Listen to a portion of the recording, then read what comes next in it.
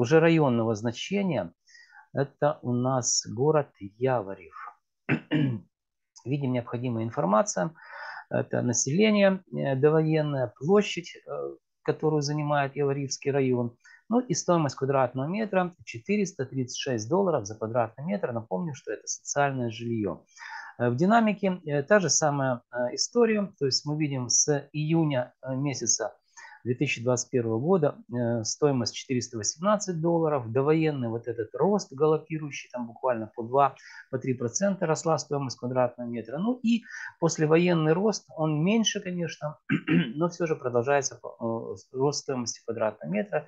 В сентябре 436 долларов за квадратный э, метр. Итак, друзья, мы на примере четырех, трех, вернее, областных городов областного значения и э, одного города районного значения очень быстро посмотрели, что происходило, э, о тенденциях говорим, на протяжении э, больше года. То есть второй квартал сравниваем 2021 год с третьим кварталом 2022 года.